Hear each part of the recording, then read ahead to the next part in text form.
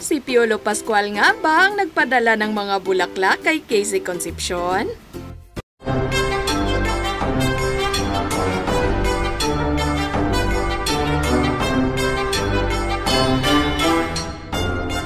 Si Piolo Pascual lang ang tumatawag ng Christina kay Casey Concepcion.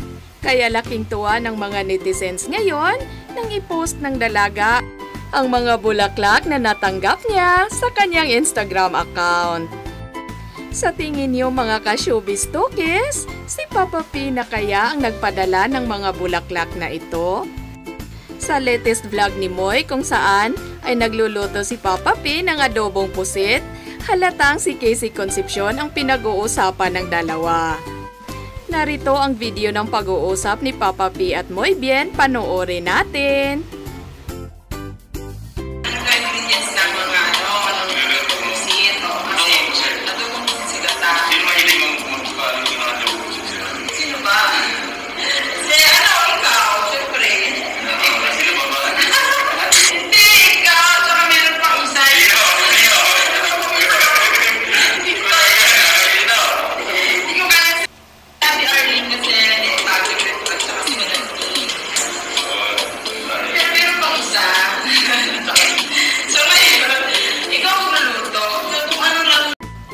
Nananatiling malapit na magkaibigan si Casey Concepcion at Moy Bien kahit na nagkahiwalay na si Christina at Papa P.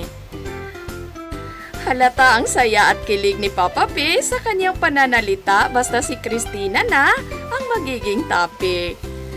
Ngayon mga ka-showbiz tokes, naniniwala na ba kayo na si Papa P nga ang nagpadala ng mga bulaklak? Sana nga lang totoo ito mga ka-showbiz tokes at hindi yung ibang manliligaw ni Christina ang nagpadala sa kanya.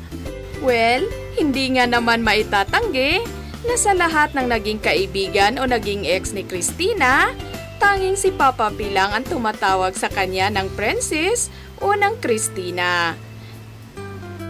At kung pagbabasihan natin ang mga galaw ni Piolo Pascual at Moy Bien tuwing mapag-usapan si Christina, parang normal lang sa kanila ang ganitong topic. So ibig ba sabihin nito mga ka-showbiz tokes? Sa likod ng kamera at mata ng publiko, ay lagi nang nagkikita at nagkakabanding si Piolo Pascual at Casey Concepcion? Tanging si Moy Bien lang ba ang nakakaalam o pati ang mga malalapit nilang kaibigan? Kung matatandaan nyo sa isang interview ni Piolo, sinabi nito na updated siya sa mga nangyayari ngayon sa buhay ng dalaga. At kung totoo man ito mga ka-showbiz tokes, siguro tama ang lang sabihin na lagi na ngang nagkakausap si Piolo Pascual at Casey Concepcion.